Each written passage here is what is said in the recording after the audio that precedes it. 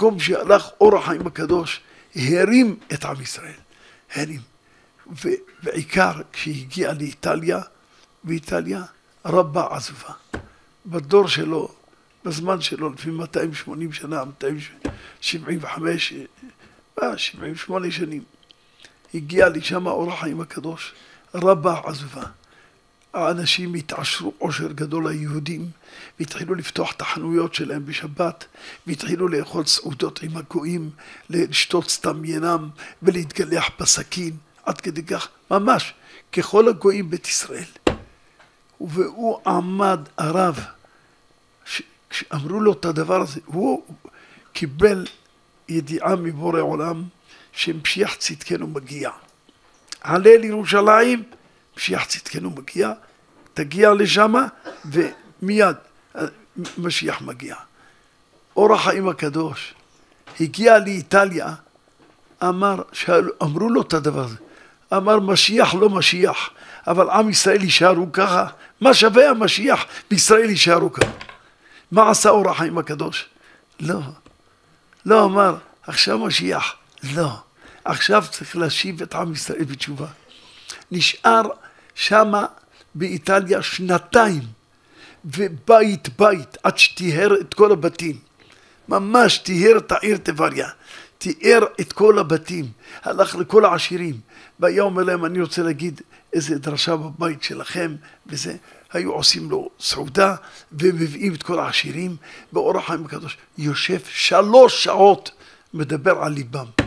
לשוב אל השם, ואנחנו עם ישראל, אנחנו יהודים, אנחנו בני אברהם, יצחק ויעקב, אסור לנו לעזוב את זה, עוד מעט ניגאל גאולה שלמה, חבל שתהיו ככה, זה, ואתם אתם עזבתם את תורת ישראל, אתם שותים יינות של גויים, אתם מחללים את השבת, פותחים את החנויות שלכם בשבת, אתם, כך היה, חבל, חבל עליכם, אתם קדושים, טהורים, וככה.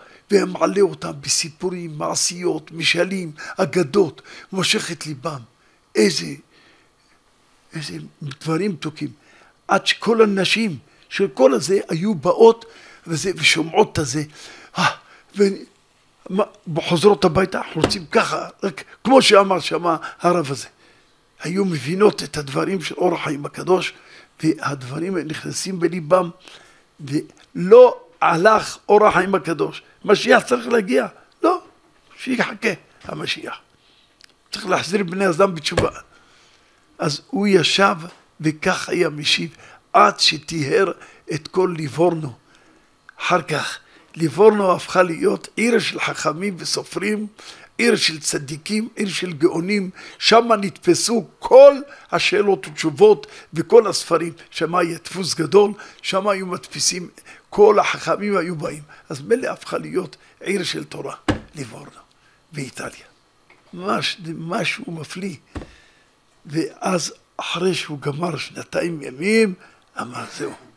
אז אמרו לו, תיקח את הבנים שלנו איתך. תיקח את הבנים שלנו איתך. אנחנו לא, לא יישארו איתנו פה.